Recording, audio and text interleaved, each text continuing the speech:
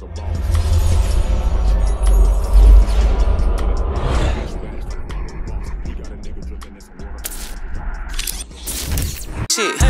shit, big shit, big shit. Huh. It's a unique hustle, nigga. Big shit, big shit, big shit, big shit.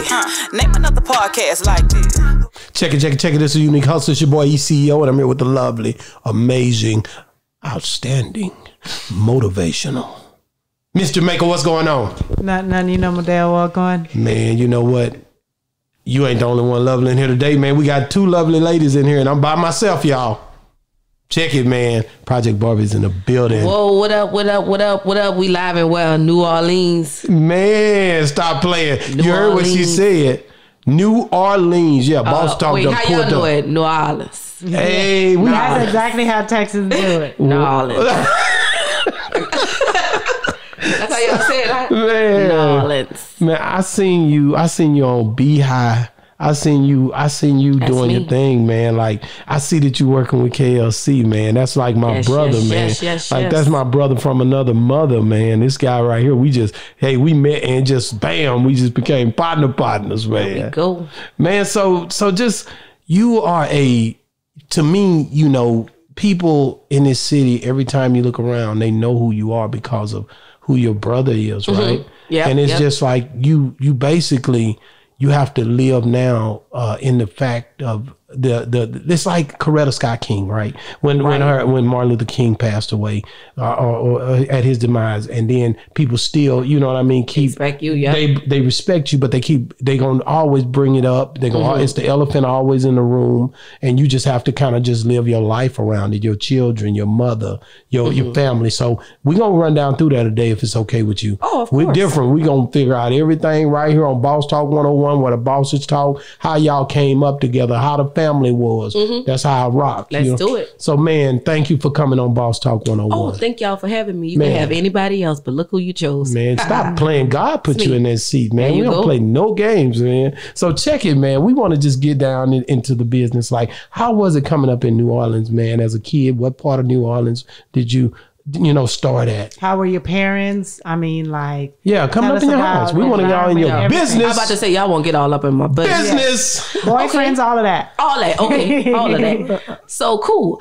Um, I'm from Uptown New Orleans. I am from the Magnolia Project, six code for show. If you did not know, so um, coming up in New Orleans, it is very, very different from any other place in the world. It's a great place because the culture is oh so strong, and I come from not only the hip hop culture of New Orleans, I also come from the jazz or what we call it as brass um, here, second line culture, and then it's just it's I'm a whole lot of what they call gumbo. So I mixed it with a whole lot of different genres of music. So my mom is actually a Lady Buckjumper. That is a second line club. I was just about to say, what is that? It's a second line club. So that's a um a second line is like a a dance uh a culture. So usually it really started when people would use it like after funerals as like a procession.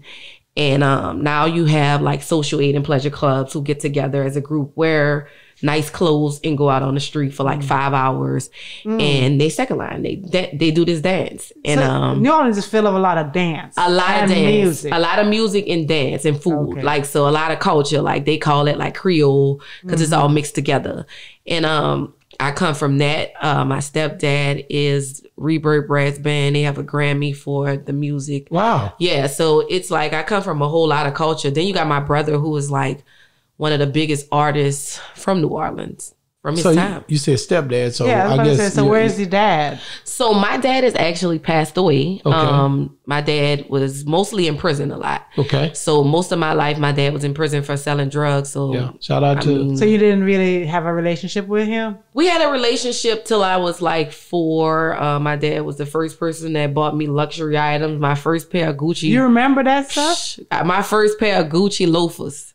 I was the first girl Nuh-uh. on, That's on a young Uptown. I was the first girl uptown on Washington with Gucci loafers. And he didn't even know what And I didn't even, yeah. My daddy was a drug dealer though.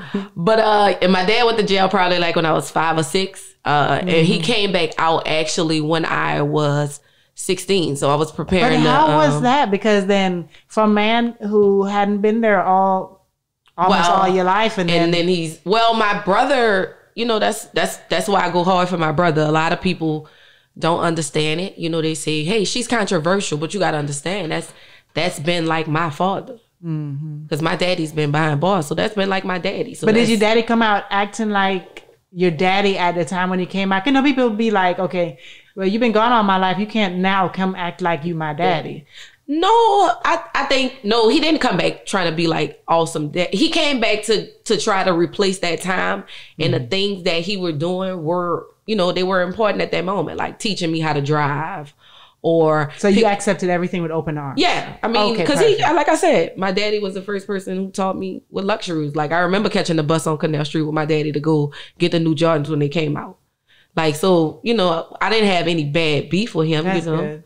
he was a, you know, he like I, I always go back to like people say you can't expect people to know how to be a dad or be someone Because if they don't have an example on how to really show them. So But that's good that you know that now. But you know, as a kid, a lot mm-hmm. of kids wasn't thinking like that. Right, right. You know, some kids would have been mad. Well, you missed all of my life. You wasn't here. You messed up. But you know, you should have been here for me, type of thing. You know. I was appreciative that when he But did come good. back, like I said in the picture, he was doing the things that That's like my friends' dads were doing with them, Right. teaching them how to drive, you know, bringing them to prom, things like you know the things that he didn't see. That sucks, but to step in at that moment, That's which good. was my biggest moment, you know, senior year, I appreciate And you that. his only girl. only daughter. Oh, okay, that's cool. How Only did he daughter. pass away? My dad died from um, stomach cancer. So my dad was actually back in jail when he passed. My dad passed behind bars. Hmm. Yeah, my dad passed behind bars. How did that affect you? Um, I wish we had more time together. I wish like when I got to college graduation, like I wish he was there to see those moments, you know. But we do it for him now. Mm-hmm.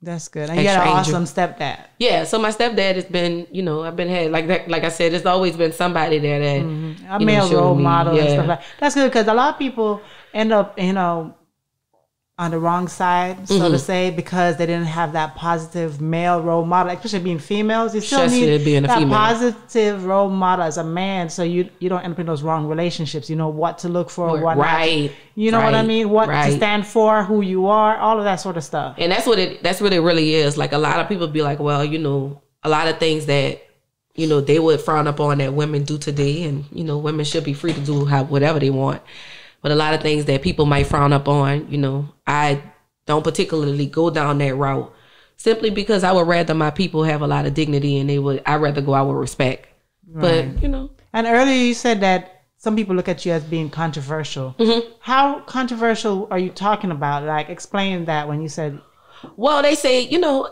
nowadays people call it controversial when you have your own opinion of things and you are vocal about how you feel about things. Um, you know, a couple times, uh, particularly one particular time that I did go viral, it was because of what they would call controversial views on things that, you know, would affect many people. like what? Tell me what happened. Um, so you know, I'm on the internet. I'm talking about things with Monica C-Murder, big issue that was going on at that time. Um, I guess somebody kind of screenshot a clip of some things that I was saying on Instagram and bought it to uh, World Star. Um, it went viral on World Star. I can remember clearly. I had to log offline for like two whole weeks because of it. I would see people in the streets and they would really talk about it. So, you know, when it come to that, like that was somebody who they It was that bad that they brought it to your face. It was it was it was that You know, was- because you know, today's society, everybody on social media talking crap, but when they see your face, it's like a totally different thing. well, they didn't bring it to of course they to That's why I my face, she said. Like, so they didn't bring it to my face. It was more of a respect okay, from people who came to me. okay, They were they respected what I said and they Okay, respected that I did say it because nobody would, would say, it. say it. Okay, So it was more of a respect. No, nobody ever. Only people came to me in a disrespectful way was the people of the internet, the internet, the typing gangsters. So, you know, the the grown men with kids my age with testosterone. I just so pathetic. Let me let me, let me go to uh, I see your brother on your shirt, Yes. and that's the one you looked up to, and that's like a father. So let's let's talk about just walk us up to, you know, just uh, him and because I, I I didn't get to meet him, so I get to meet Right. you, and you remember how it was with him and the music and all that good stuff, right? Yes, yes, yes. So let's talk about you know how he felt about the music. I know shout out to KLC. He done you know told me you know different things, but I want to hear from you kind of how you felt about him and his movement in the music. Is that cool? That's very cool. So my brother is actually, if you some people might can't see my shirt, but so my brother's actually Soulja Slim. Um, I am his little sister. We have a 13 year Yeah, gap. correct. Yeah, um, my brother was very, very passionate about music. I clearly remember um, at the age of four years old, my brother was getting picked up in limousines. Like they Wow. was pulling my pulling up in stretch limousines to pick my brother up for shows, and he was only like 14 at that time. Like Okay. my brother really been doing it since his teenage years. He was Magnolia Slim at that time. Um, and he just always been passionate. Like he's always been an entrepreneur. Like he would if if he wasn't rapping, then he was cutting hair on the porch. So a lot of people know him off the Parkway by ice cream because he used to cut hair under that moniker. And um, when he started doing the music, it, it just was like if you go back and listen to even me as an adult now, and I'll go back and listen to like tracks like Powder Bag and tracks like uh Kicking It for These Dog Ass Hoes. Like, and this was a, a teenager, 14 years old, that was spitting this stuff on these beats that just was like ridiculous. And it was on KL tracks. So a lot of people don't know because they didn't tell them that when they talked about it in the No Limit documentary. Um, but KL was actually the one who bought my brother to Master P. Okay, okay, So KL played a large role in that because at that time, that's when my brother was rapping in his basement, Correct. making music there. So KL really played a big, big role in that whole Soulja Slim sound at that time when he was young and coming up. Now, like I said, my brother ended up getting a track at um which one was on here? Uh I want it. I want it, you got it. That is a KL track. yeah, yeah. I wanted you got it, and it actually they put it on Down South Hustlers, and that's when he blew up. That's when he um they bought him, of course, to Master P, and he got the deal in the first album, of course, with Master P, and I believe he did at least two there. And that's when he switched over to Cutthroat Committee. So that's his own label. That's when he wanted to be on his own and wanted to do it for himself. That's when the little real ones came into the Yeah. pictures. Chaotix came into the Yeah. picture. Um, all these people came into the picture, and um, we came into the picture. Okay. Okay. And and so because you know a lot of people you know that was a thing. He was like the Tupac of, of just the New Orleans The New Orleans music, The yes. way he was, you know, they were kept. And it's it's so much because he's authentic through it. yeah. He tells you his story of being from where he's from. Like you don't even got to be from there. I remember one time, even now though, it's still relevant, and I think that's what we all strive for as artists. At least me as an artist, I want my music to be timeless. Like my brother has been dead for at least seventeen to eighteen years, and when you put on tracks like "I'll Pay for It," Yeah. I still feel like she, you got 150 spend it on me. You gotta pay for it. Me and my friends, we in a club, buy the ball. But those tracks like that, it's still relevant. Love me, love me not. I mean, come on.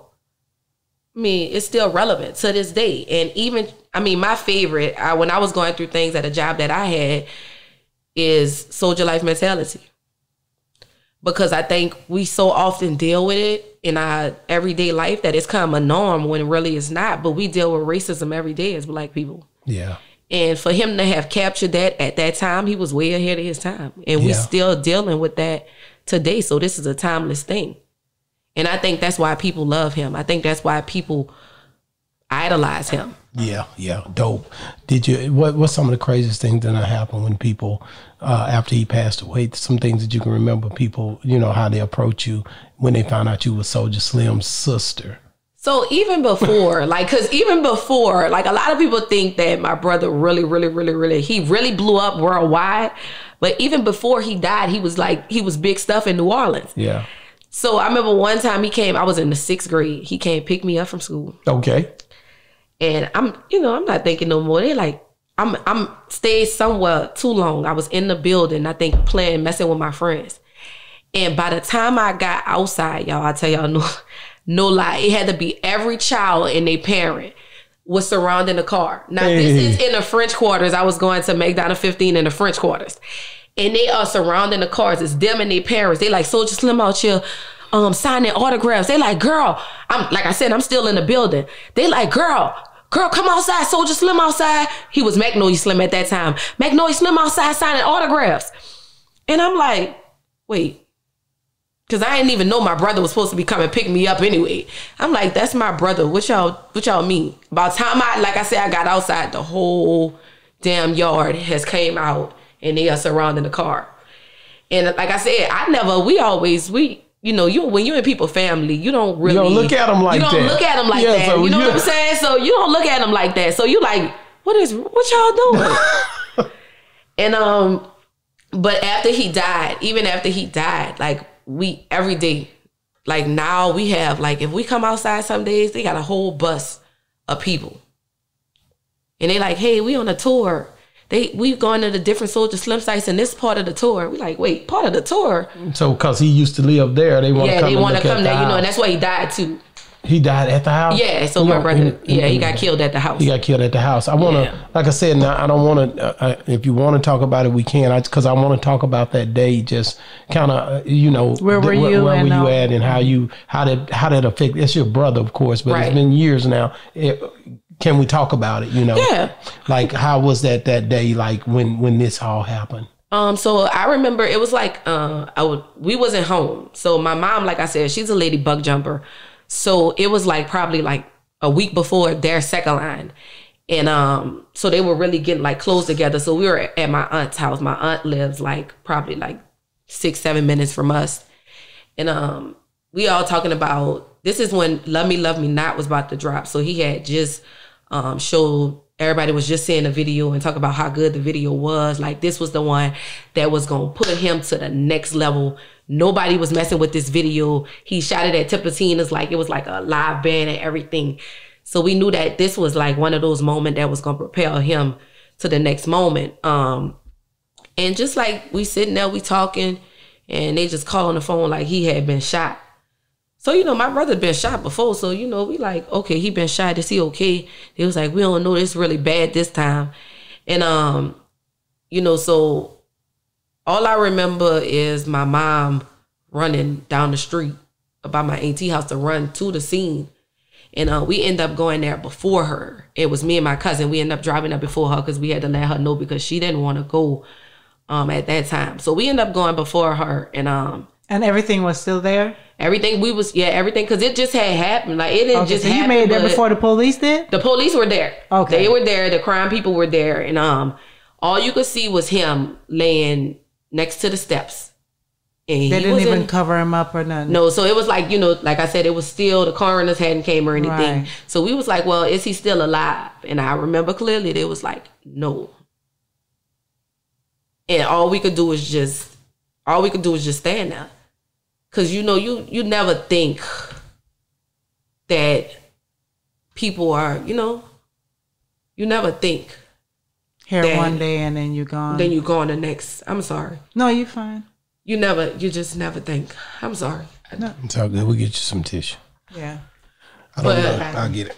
yeah. Yeah, you just never think. But uh so And to see that, that's the problem, you know, because that image can never go away, and I think that affects you even more than if you hadn't seen it. If you know yeah, what I mean? you know, because you think you're going there, you're gonna see them people again, but you're really not.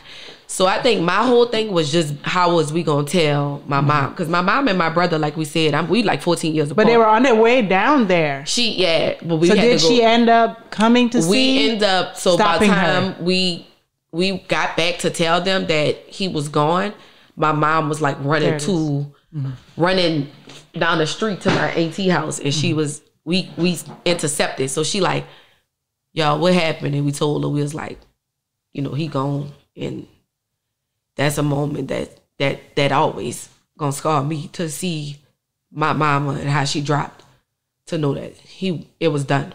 She fell out. Yeah, she just. Of course, yeah. because that's you're you a mom now, right? Yeah, I'm a mom now, and I know. And I think that affects you even more because, like, for me personally, I never experienced anything like what you're experiencing. But you know how, like, when you watch sentimental movies and stuff like Yeah, that, you, you didn't feel- cry. yeah. You, you did not cry before you have kids. But, But once you you, start having kids, it's like It's different. Everything makes you, cry. cry, yep. Especially if they're talking about children. Children and Oh my God! child. Because like you can put yourself in that person's can position and you feel it. feel it. So it's totally different. So like even just knowing that she's a mother And and, she- yeah. have to endure that. But then for me, it's like once I'm in tune with God now, where because I was raised in the church and all of that, but I think when you really find God later on as an adult, Right. and you know that everything happens for a reason Everything and it's does. bad that of how some things happen terribly and that makes people question like how can there be a god if they go like this if they go like that but like i tell everybody and when i tell people things i'm not telling them for them i'm telling them also for myself because it can happen to, anybody, Anybody. Yep. so yep. Yep. I'm yep. trying to heal myself in a lot of different ways. So I'm just saying it to say this that when things like that happen, you have to really. You had so many good memories with him. Right. You had so many learning lessons. You have hold on to those things. And you can't make the bad overpower because Cor- that it can correct. easily happen where it can fill you up with hate and anger, and you tend to forget about all of the good All the good things. because you got to think about like god forbid but if you go what do you want your kids to remember you how do you want your family to remember you so you have to think about those things you don't want them to be you know this this filled of hatred Mm-hmm, and anger and can't move on and you know what i mean I got you. so you it. have to you have to um, honor that person's memory in that type of way where they want to know that he would love to know that his sister is good. His sister is flourishing. His sister, his mama is good. His mama is flourishing. Flourishing, right. You know what I mean? He don't want nobody to. Yes, you gonna mourn because we're human beings. We're gonna feel sad. We're gonna cry every now and again. You gotta let it out when you have to let it out. You Mm-hmm. don't want to hold that thing in Yep. because it can deteriorate your body in so many different ways. But I love the fact that y'all keeping his memory alive by Yes, keep yes, talking about yes. him because that's what you're doing. Yes. The more you talk about him, is the more people not gonna forget about him. The more people gonna know about him. Some people who maybe never heard of him before, They gonna know that. they gonna know about him now. You know what I mean? It, it, and, it, and that's how it translates. So even 20 years later, I mean, 10 year olds like, yo, that's way before your time. Mm-hmm. But they know I'll pay for it. And they know these songs and they know who he is. And I think even though it's sad that he's not any longer here with us, he's Right. still here with us. Because every day you hear a new story about how great of a person he was. Mm-hmm. And I mean, not too many people. Sometimes when people die, you know, that's it for him. he had children. Yes, my nephew. I have one. I have one nephew. Okay, so I say he carry on his. Yeah. Did he end up trying to come in the music industry? Yes, right. my nephew is a rapper too. Okay, how old is he? He is 26 years old. Oh, yeah, wow. he's 26 years old. Yes, yes, yes. Okay. Soldier Slum. That's good. Yeah. Music is just all up in your family. Isn't Yeah, it? just everywhere. All running through the bloodline. love it. Love it, love it, that love is it. good. And how is he han- handling? You know, because he was how old when it happened? He probably was like eight, eight or nine. So really I know he remember. Cause if you can remember when your daddy bought you them Gucci shoes, I know he, can, remember. yeah, the times that they had. So yeah, I'm pretty sure he remembers. Um, you know, but y'all are there for him. I was there for him and pulled him through all of that. Yeah, yeah. That's so it just, you know, everybody tells him stories. Like I said, we always hear a new story every day. Sometimes when people die, you don't get to hear anything about them. But we get a, every time we meet somebody, it's something that he did that have you thinking he like Jesus in the second coming. Tell me a story that you heard that you never knew about your brother that somebody told you. So my mom loves to tell us when they had a lady. Um, at that time, she was going through cancer, so her head was bald, and she said she didn't know from A to Z like who is Soulja Slim. She just heard everybody saying Soulja Slim is here, Soulja Slim is here. She said she went over there and she told him, "Hey, I don't know you, and don't talk about me because I got a bald head now." And said he kissed on her head. She said, "She said, girl, look at my hair." My mom said she seen it. She said, "Girl, I got a full head of hair." A full head of hair. Then somebody told me a story. It was like um the house ended up burning down, and they didn't have anywhere to go. And then they say he can't pick them up personally and brought them to live with him. And it's like all the stories you hear. You see, that's why I tell people all the time: when you live life, don't live life for yourself. You live it for others Other because people, yep. when you go, you got to leave the memories. That's the Mm-hmm. one thing you got to leave. If it's everything you're doing is just for you, ain't nobody going even. Got a lot of people that's selfish. But I Right. mean, given you gonna always, even if you don't get the recognition for it at that time, people appreciate people, it. Yeah, people because when you live your life for yourself, don't live it for gratification, not for people to come to you and say, "Oh my God, thank you, thank you, thank." Thank you. Don't live it like that. You know, it just know that if you're living your life right and doing what you're supposed to be doing, helping others, the reward is going to be there. Exactly. That's all I gotta say. Well, hey man, you know, like um, you just like I said, you gave us that story. I wanted to ask about that because that's the elephant in the room. Of I course. always, uh, you know, um, and that matters. It you know does. that people hear your side of what was going on. That matters a lot because a lot of people don't know kind of what happened leading up to it. The ones Right. that wasn't around during that time, or people who really love the music now and listen to his music. They don't know. They don't know. And they always think that they're like, she don't know. She wasn't around at that time. She too young. I'm like, I was a teenager, baby. old Teenager, teenager, right? I Yeah, know, like, I know got about that- I that. got an old soul Yeah, like. I'm a teenager, baby. I was, Yeah. I'm not that young. I just look good. So, so when you think about just where music is down here in New Orleans and just in the South period, like, um, you know, um, how, how does it, how do you think we're doing? I'm excited about the way music is going in New Orleans now because we're finally, um, I think eyes are finally shifting here now. And I, I, for one, I will admit that I thought it wouldn't, but just all the things that's playing up to now, like even my brother, um, he just, we just about to shoot a show for him. He's going to be on Hip Hop Homicides. Okay. Um, so even that, just coming back to the city, a lot of people are coming to check out the music. A lot of people are coming to check out the filming industry. The Pelicans just was doing great in the playoffs. Like, so we getting a lot of eyes on the city. And I think that's gonna work wonders for even the music. So I'm excited for the way that it's going and I'm excited for the doors that's opening. And if you're watching, come and mess with us. We got some good stuff going on. Who would you like to work with in the, in the industry? Um, man, my ultimate goal. I'm telling you, once I once I get my song with Beyonce, I'm tapped out. I'm t- I don't need to do nothing else. Once I get my song with Beyonce, I'm good. That's it. That's it. I That's don't. a, that's a hell of a Have you ever reached out to her? No, No, that's a problem. Then how you gonna get it? No, see, because I gotta get right first. I can't just be reaching out. You don't never, don't never, you don't know what God can do. Let me just play, let me say that right, right. now. You don't know what God could do. You, you, you're You don't absolutely even know. right. You unless you throw You it could out be there. right for her right now. You don't know. You're right. She might say, you know what, girl, I've been waiting to do something with somebody from New Orleans, and bam, and then you like, what? And then I'm right And there. God just opening them doors that no man can shut. Well, Beyonce. Beyonce. no, sis. like, like, what do you think? Which, which, which one of your songs do you feel like is the most solid one that you've done? Cash App. Yeah, Cash App. Cash App is my favorite G.I. Peaches song. really? er, overall. I've made a lot of songs, but that's my favorite. Why See, is that's that your different. favorite? That's different. Cause I feel like I, I'm always like being Soulja Slim mu- sister. I'm always like stuck to like the hard side of it. And I feel like for Cash App, I got to show people a different side of me. I got to show people a different artistry that I am an artist. I could make music. I don't just have to make gangster music. I can make music. I could, you know, I could do what the other girls are doing. Okay.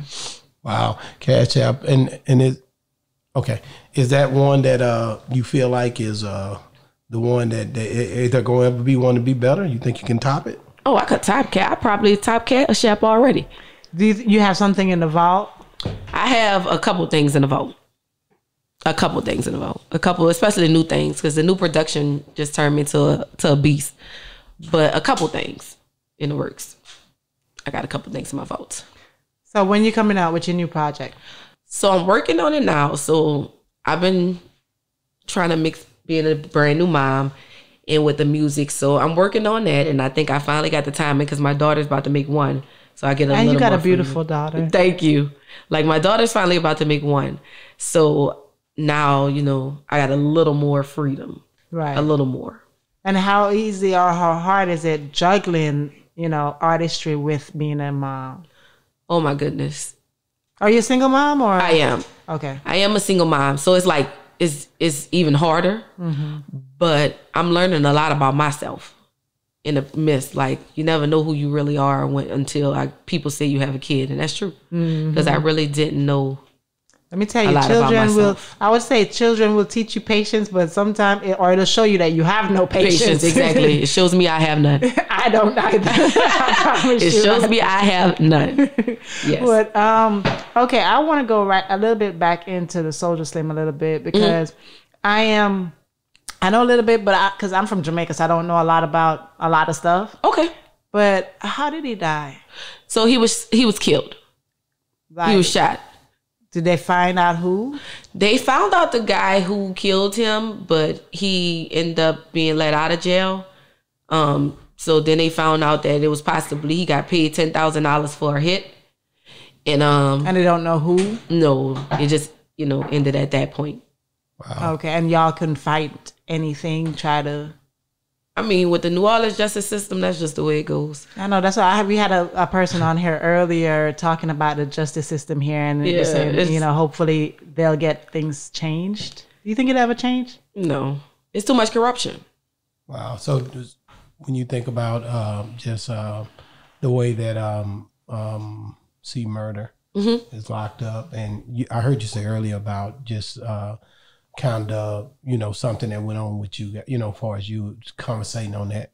Um, that whole the that all that stuff run together to you. It, it does. It's you know, it's just like people say, it's just in the bloodline. Like, you know, my brother ran with he murdered one of his. Yeah. You know, they make a lot of music together, so you know, it's all love over here when they come to C-Murder. It's, it's always been love. It's always been respect. It's always been, you know, a good relationship. Yeah, yeah. And only I ask that is because of the fact of he's still trying to fight to get out. Yeah, yeah. So, know, so- free C-Murder. You know, make sure y'all support that whole movement and really recognize like what's really, really going on. I mean, at this point, it's kind of like, what is it? An example? Yeah. you know, to be shown because it's like, you know, But it's been so many years. Like it- you know what I'm saying? Like, I mean, even like you already still, shown your done, example. He done like He's that- done so much time, and I mean, like, what now? What Right. You know, his kids are grown, gr- you know, grandkids. Like, I mean, come on, how much of a debt to society, you know, does he owe? Right. You know, is it because of who he is? I mean, at this point, that's that's what it is. Mm-hmm. Because I mean, you got an an anonymous jury. Now y'all running all these other cases back, and you know, going back to trial for it. So what's really going on here? So, like I said, you know, that's why I said corruption when it comes to that because it's like you ain't playing their game, so they got another game they won't play. want to play. That's it. I mean, you know, that's the way they try. It's like, like we want to show you we we we in charge. You know, Exactly. And and and no matter how much money you got, no matter what, we still Who in you are, you still what what Jay Z say? We still nigga, Still nigga. still nigga. still nigga. Man, um, just um, just uh, I don't know. Um, I was supposed to get this sixteen out of her, wasn't I? Yes. Yeah, you ready for what- that sixteen? What kind of beat you on? What you got? You got some trap? Whatever you need. You got some trap? You got that trap. She said, you trap music? She wants some trap music. Yeah, give me. Let me see if I can mess with some trap. You know. Okay. Okay, let me Shoot, I wanted to know about this drink. like, how did you get that? Oh, that's that He has a- exotic yeah, pop. he's a, he, I Right. can hear it in the, in the, in the yeah in the speakers. Yeah, you can do that one. Yeah. Uh huh. Uh huh. Like that? Uh huh. Hold Yeah. on, hold on, hold Yeah. on, hold on, hold on, hold on. Let's Hello. bring that Hold on. Gotta back. bring you in. What? Damn, man, hold up. The track, boy. I want to say, Did you follow us on IG yet? No, y'all didn't What's even your tell me. IG? I'm just getting here. what's your IG, the stuff. babe? Project Project Barbie. Project The Barbie. Project Barbie D A D E. D A. DA. Dub. Okay, I'm finna follow you now because I'm the same as you, but I watch you because of KL. I just like I'm, they they. I didn't think they was ready for you to come out yet. Oh no, they they they not. I guess, but I be coming out on my own. But you see what I'm saying? That's why I never did bother you because I'm like he just starting to work with them. Okay, follow me back. This E ECEO, you gonna right, see so me. I got it. I'm going. You already doing it? Okay, I got you right here. We finna, we gonna go with that beat. Okay. I think we can rock that. I think we can rock it. Let's Just see. Give me Let's see. 16, man. Go on, man. Let's Just- see. Let's uh, see. You gonna? yeah, I'm, we're gonna see if I can get you 16. I might could go a little bit, but we're gonna see. Okay, whatever you can give me, I'm gonna take it. You know what I'm saying? Uh, we're gonna Let's make. see. Let's get to it, man. Yeah. You ready, Steph? Mhm, go ahead. We going back in, man. Fine. Check it, man. Hey, man. Say, man, Project Barbie in the building, man. We about to go down through that one time, man. It's on Boss Talk 101, what a bosses talk, man. You know what I'm saying? Yeah, yeah. Let's go, big dog. Let's get it. Yo, look at these diamonds, they all on my neck. You know that my flex, my flex be the best. Look at this pussy, you know I don't text a nigga. When he text me, I might not text back. Look at these diamonds, know that they flawless. All of these niggas be calling, I'm gorgeous. Niggas know I be high, I be falling. Making these niggas falling, they be dogging. Look at my jewels, look at me. I'ma be who I'ma be, then you know it's me. I'm from the three, you don't know it's me. Come from the streets, you don't know it's me. Come from the best, I be rocking the. Hey man, stop playing, man. Why you go down through that like that on Hold man? up. I You like even- you you you just getting warmed up, baby. I'm just getting warmed up. I see up, you on that. Look at me, look at me. Look, uh, I, nigga, I could it up a I- couple times. I could have been a rapper, nigga, if I'd have tried. I'm gonna give me yo. You got this. You got this. This this just you. They call it swag and all that. You, you just that it factor. Like, I just try. She, No, no, gonna, no, she gonna do. She gonna do it. She doesn't It's like hesitate. her- she don't back she don't down. back I down. like. I'ma try it. I'ma Yeah, try that's what I like. Man, I I'ma love. I try like I it. said, I'm gonna That's pick how you something. gonna out. I pick stuff out, and then I, I I'm gonna make it the way I need Yeah. it. Anyway. I love the fact that you you came on Boss Talk 101. KLC, I think he picked the right one. To be honest with you, uh, That's uh, what they say. did, did, so how did you meet KLC?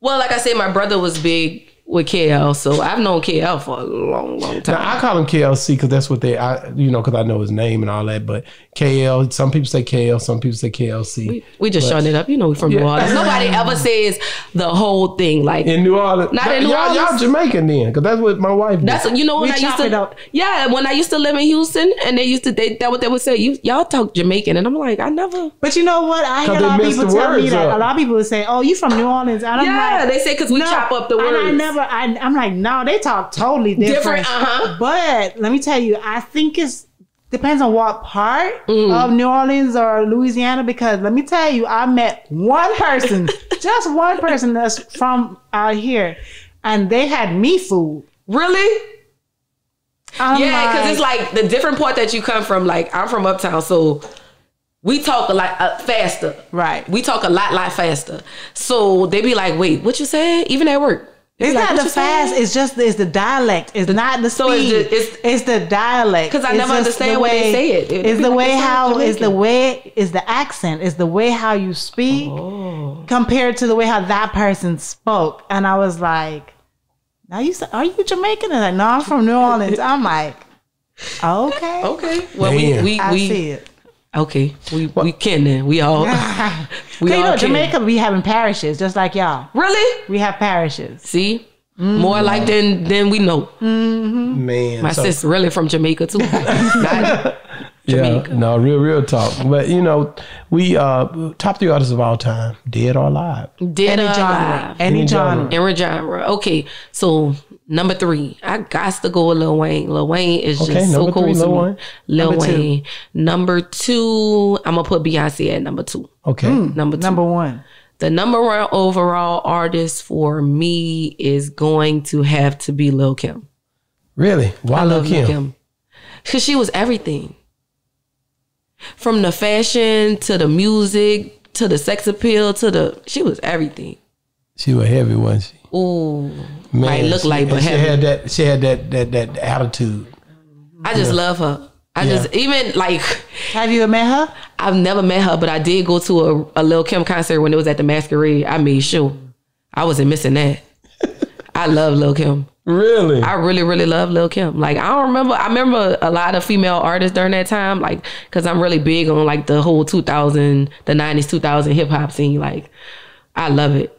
So I was real big on Lil Kim. Like that's my girl. Can't nobody say nothing about her. I love Lil Kim. well, we appreciate you for coming on the show. of course, And of uh, did we leave anything out? How can people get a hold of you if they want to link? Well, with let me tell you about me. Let me tell you about a little girl from Uptown. So if you're looking for me, I'm actually on Instagram. I'm the Project Barbie. So that's D A P R O J E C T B A R B I E. Beautiful. The Project Barbie.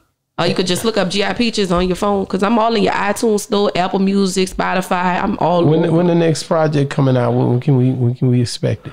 Let's see. I, I'm not really sure of a date for the next project, but my new single did drop. No second guessing, and a video just came out too. So go check that out. Man, thank you so much, man. Oh. Did, did, did you forget, did you miss anything? No, that's it. Everything good? I got it. What we done it? Yes. Man. We hey, did the check damn it, man. thing. We love you. Thank y'all for having me. You know I'm small time, so for y'all to come seek New Listen, Orleans and man, get me, You crazy. This is why I came, right? Mm-hmm. I knew why I was coming to, to I knew which artists I was knew I could get because of who I'm connected to. see, So I knew that. I knew I, I just like I don't know where I'm gonna do it at, but when I go there, I know I'm getting to deal with. I didn't say Peaches though. I said Project Bar because that's how I knew. you. Same. I found that out today, so I'm kicking it. You know what I'm saying? So, Puff Daddy P it. but same then as soon as you called me on the phone and you was immediately like, "Yeah, let's do this, let's, Let's do, do that." You love the fact of you're a helper. I know when I come to New Orleans now, stop, man. Come on, man. I'm gonna call Peaches, nigga. It's up. Yeah. I know the places to go. hey, Tell man. How, why can I give me something good to eat this evening? And it ain't gonna be hard to get to. Well, look, keep it in the neighborhoods. What kind of food you looking for though?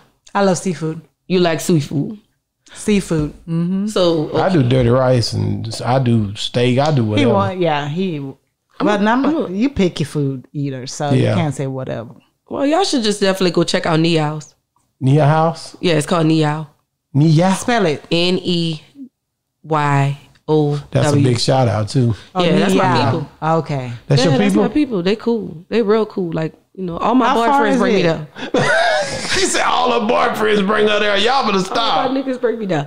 Uh, it's not that far from here. Well, y'all way over here. Yeah, but we Y'all going back- way we- But close we to staying downtown. We stay downtown. downtown. Oh yeah, that's close to downtown. Yeah, That's where we going anyway. We yeah. You gotta that go there. You gotta check check it, out. man. What kind of food? Seafood? They got seafood. They got all that. They Yeah. cook all that. They cook Cajun. Okay. Is it always packed?